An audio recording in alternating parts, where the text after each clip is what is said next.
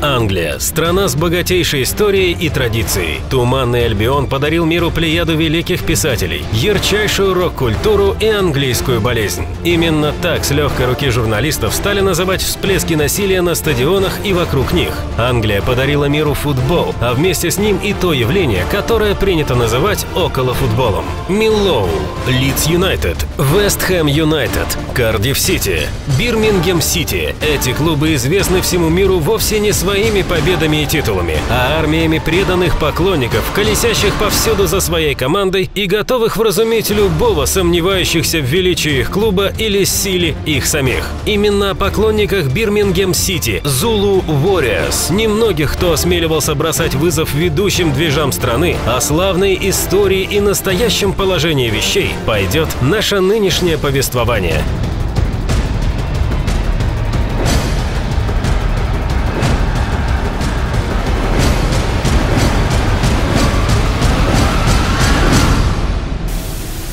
Birmingham as a city uh, is divided mainly into two parts. You've got um, Aston Villa, which are based in the, the north of the city. You know, most of their supporters will come from either North Birmingham or West Birmingham.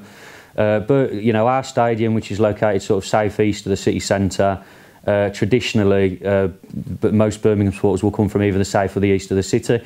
There are, you know, some occasions where, you know, our lads live north of the city and, and vice versa. However, uh, where our firms traditionally base ourselves is in pubs, um, you know, around Villa have got their area, you know, near to Aston, and then in the north of the city centre. Whereas we will drink normally, you know, in around our sort of um, near close to the stadium and around the Digbeth area in between the city and uh, and the stadium. Right, uh, this is St Andrews, um, home of Birmingham City Football Club, as you can see. Um, this is what we call uh, the railway end. Um, it's uh, for home supporters and away supporters. Um, far end is uh, for the away supporters anyway. Zulu Warriors – визитная карточка клуба Бирмингем Сити. Какова же история этой группировки? Yeah, there was um, violence down in Birmingham City from uh, back in the 70s, really. Uh, but it didn't really come until about 1982 when Birmingham City played uh, Manchester City away, uh, when the Zulu name first came about. Um, there was battles up and down the streets. Um, and Man City, because of the large black contingent of um, followers that Birmingham City had at the time, uh, the Man City fans were singing over, shouting over Zulu and all that, calling them Zulus, obviously for being black people and that. And um, obviously the Birmingham City lads laughed and joked about it and then started shouting, yeah, yeah, Zulus, we're the Zulus. And that's how the name really come about, really. And it's still going this, to this day, 2015. Um, still very active at the moment, anyway.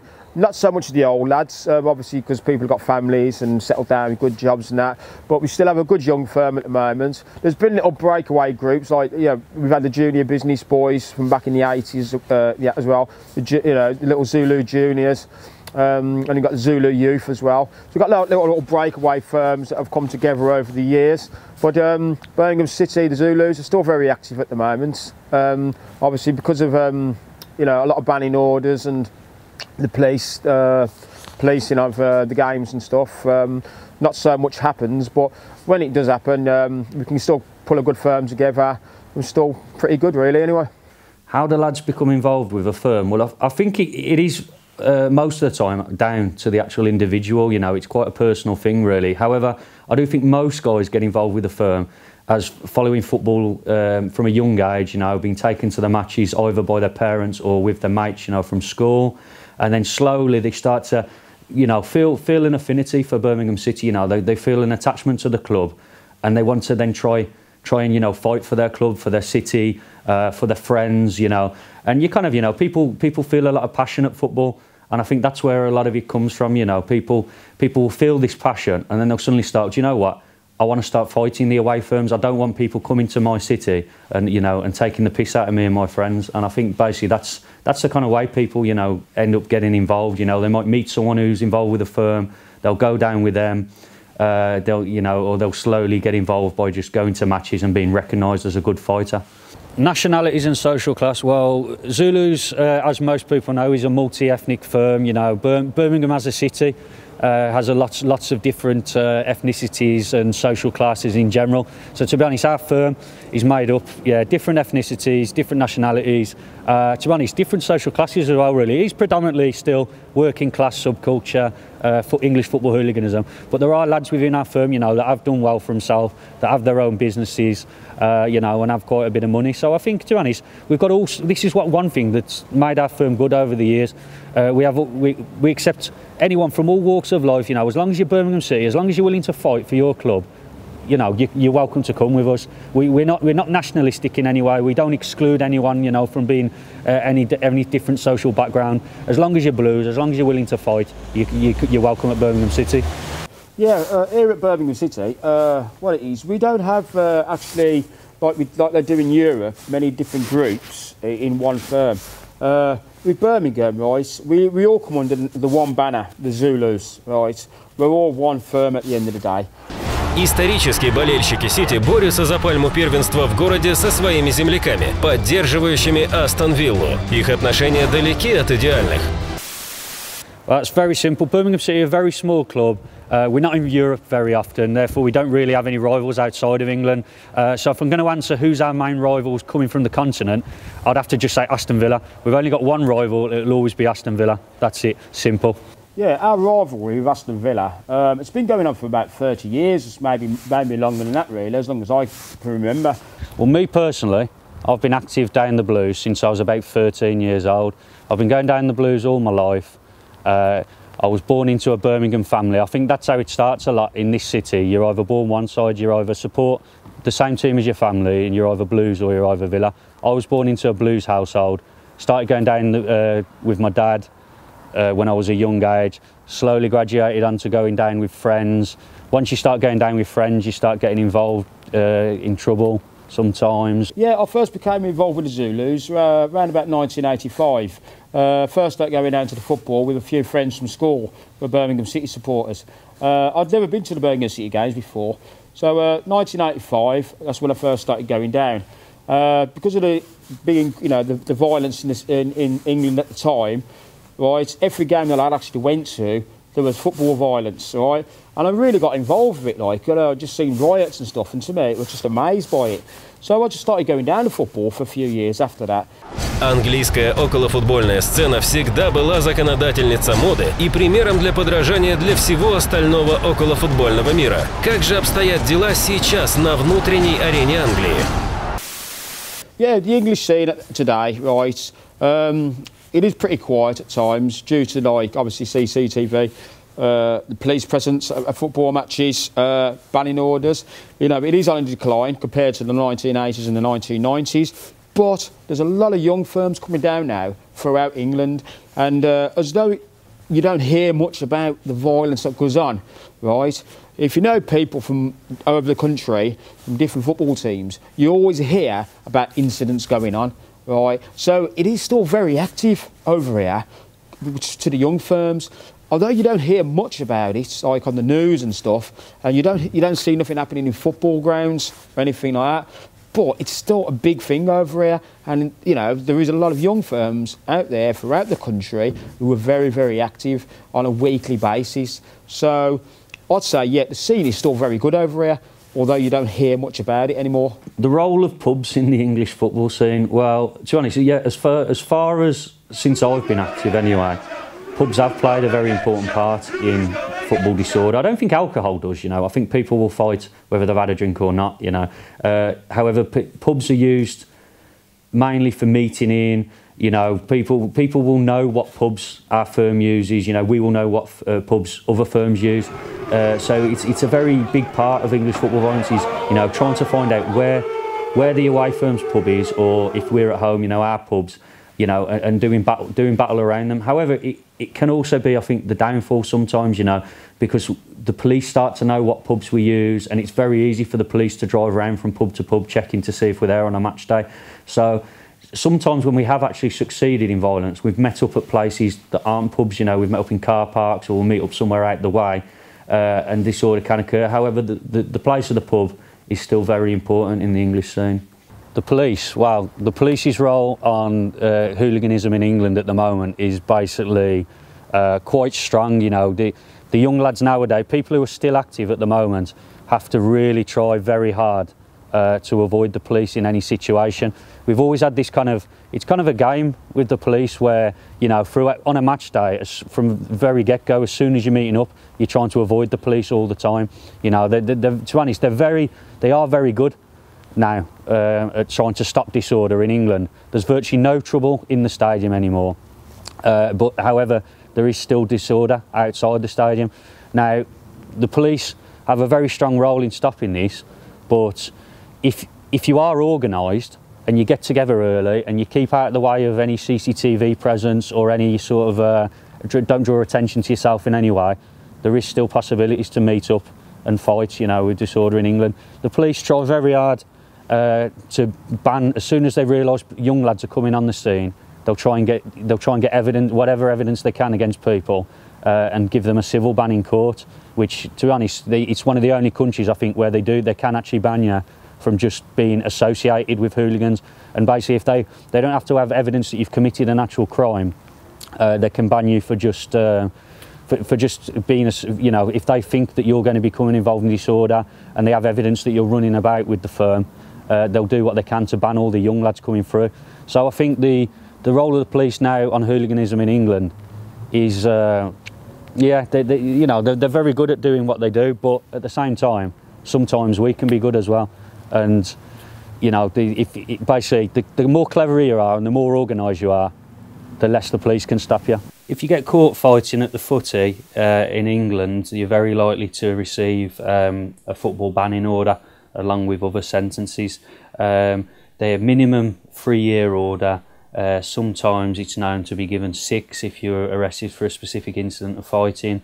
Some lads um, who have actually been convicted of serious or high profile disorder have even got 10 year orders in the past. What you're seeing here is the match day exclusion zone that's given to Birmingham City lads that serve banning orders. Um, the highlighted area on the map is the area of the city that you're not allowed to go uh, very often three hours before the match or up to six hours after the match, although sometimes this can vary depending on the seriousness of the offence. Национальная сборная не так часто призывает под свои знамена. Какое место занимает она в повседневной жизни английского околофутбольщика? И как налажен контакт с руководством любимого клуба?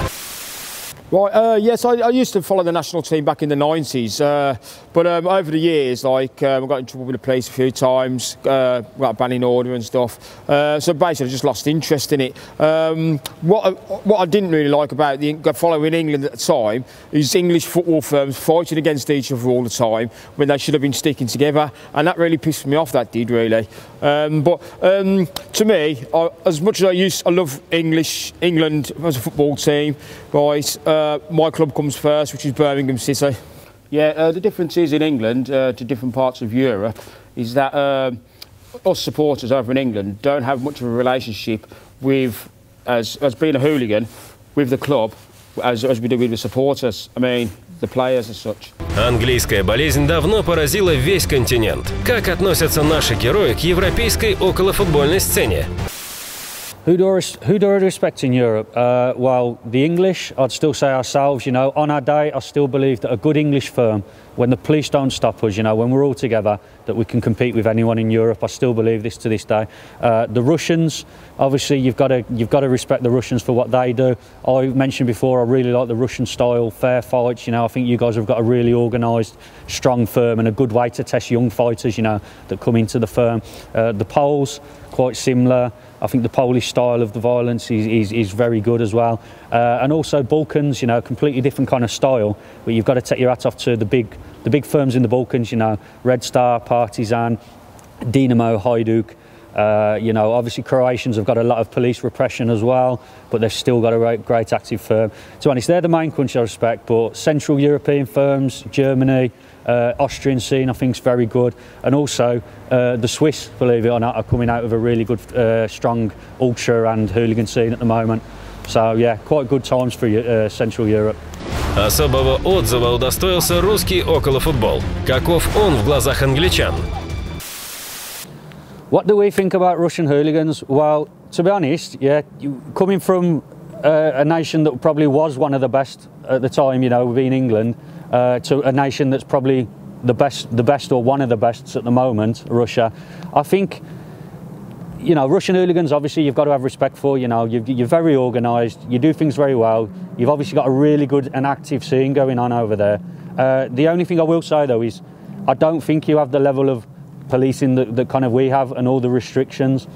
So I'm not really trying to compare us both at the moment, but the, the police don't seem to be, you know, too willing to stop you fighting, you know, in the forests and stop you doing this. Maybe, maybe it's different. I don't know. You know, I've never been to Russia. I can't say. Uh, but yeah, I think we to compare the two scenes, our scene would be a lot more active if we didn't have all the police restrictions we got now. Taking that apart, though, uh, you have to give a lot of respect to the Russian scene as it goes. I personally really like the Russian style, fair fights. I know a lot of people a lot of people might slate that as being not really football hooliganism, you know, because it's completely taken out of a football context. However, I really like it just because it's a very fair way to sort out who is the best and who's not the best. And to be honest, I'm going to ask the opinion in a minute of one of our older guys, but any of our older guys who do might slate the sort of Russian style, I think if you gave them the chance to have a 50 on 50 fight with Aston Villa away from any police or anywhere. I think every one of our lads would take you up on that offer. This is Zenit Music Hall versus Gladiators of Spartak. About 30 on 30. Recent fight. I think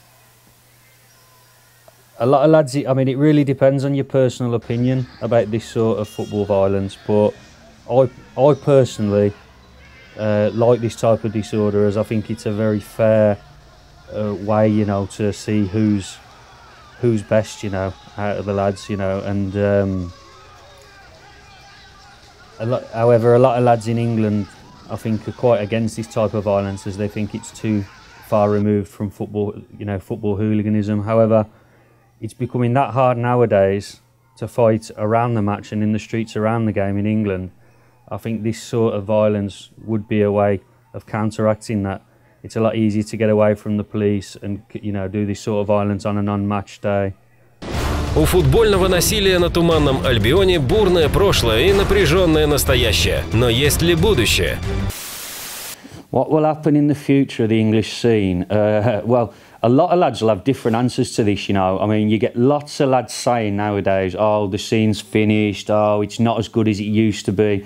However, uh, it still goes off, you know, every week it'll go off somewhere in the English leagues, you know. Lads still turn out for big games and turn out, you know, not, not every week, but, you know, every time we play some decent opposition.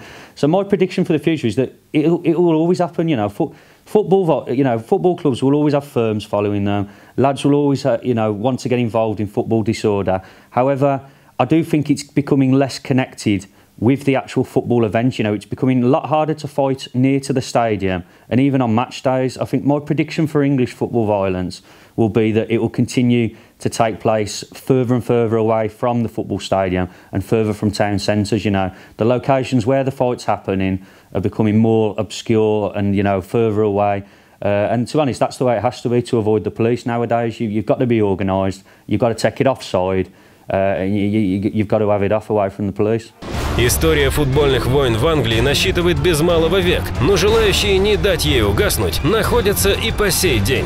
Что же влечет их в мир около футбола?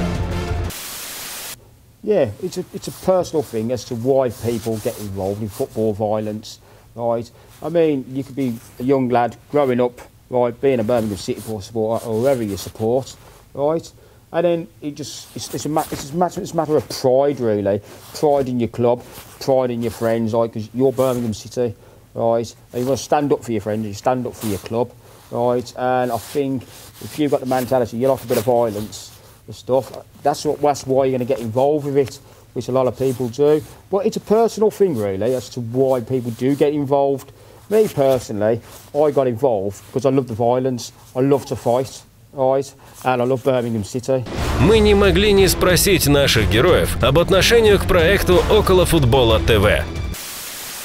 Okolo Football TV, I think, is a, a, great idea. You know, again, I think it'll come down to your, uh, you know, individual lads' personal opinions on this. I know some lads will be very against the idea of any type of uh, information going out on the internet. You know, they, they, a lot of lads will think any information in the public domain, it will bring negative unwanted attention onto the firm. However, my opinion uh, is that it, it's a great idea. You know, it keeps the scene al- alive. You know, in the, in the minds of its followers. You know, I think if you are a dedicated hooligan, you, you, you want to you know you want to find out what's been going on in hooligan in the hooligan world. You know, not just in your country, but in other in other European countries. You want to know what firms are active, who's doing what, and you want to read and uh, you know about different fights that have been happening. So yeah, I'm, I'm all for. It. I think it's a great idea, but again, it's you know personal opinion. Yeah, I totally agree. Um, Russian style is a lot different at the moment uh, to English football violence. Uh, what it is, I've been to Europe on a number of occasions over the years, and uh, I've got to know a lot of football hooligans in Europe and that. And um, I, I, I seem to think that football violence, they, when they recruit or when new people come in, they train. They they go to train in the gyms and that, and they fight because it's like we want to fight. We're hooligans. We'll train to fight. But over in England, it's not like that. Um, I think it's over in England at the moment. Um, the, the, the violence is still there, right? It still goes on quite a lot. Um, I don't really know much about the football violence over in Russia. Only that we've got real good fighters, and I think obviously because of the policing, they don't have the proper policing over there to combat the violence mm. uh, like they do over here. Um, and I, I, think if it was the same over here with the policing as it was in Russia, I think it'd be a hell of a lot worse. It'd be like a throwback to the 80s um, over here as well. But um, I respect them because they're fair fights. Um, uh, they don't use tools or nothing, um, you know. And once you're down, you're down. Over here, a lot of people use knives and you know other um, weapons and stuff to, to fight, uh, which I don't agree with uh, totally. But I do respect the Russians, uh, a lot of other European football uh, teams as well, firms because you know their fighting um, is very good. Um, and hopefully, um, when we come to meet the Russians, we'll give them a good um, run for the money.